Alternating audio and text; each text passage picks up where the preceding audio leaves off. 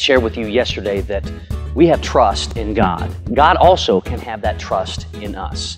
This is something that we shared with our kids a long time ago. It was taught to me by another pastor. And the thing that he shared was that trust is something almost like a bank to where you will deposit into this over and over and over.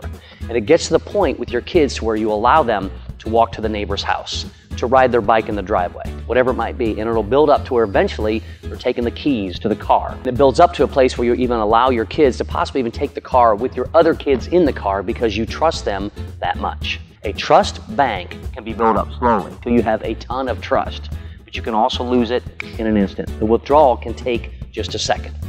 The verse that we're going to share with you today, Psalm 56 4. I want you to look that verse up because it is God at the end of the day that we can rest in because He is trustworthy. Even though there are times where people want to point the finger and they want to cast the blame and do all these other kind of things, God hasn't moved. He hasn't changed. And He's shown over and over that He is worthy of that trust. Do you trust Him? Do you truly put in the trust for Him? Do you truly understand both in the good times and in the bad? We need to ask ourselves that question. We need to ask if we are truly turning to Him at both those times. So think about that. I want you to pray about it, we'll talk more about that tomorrow.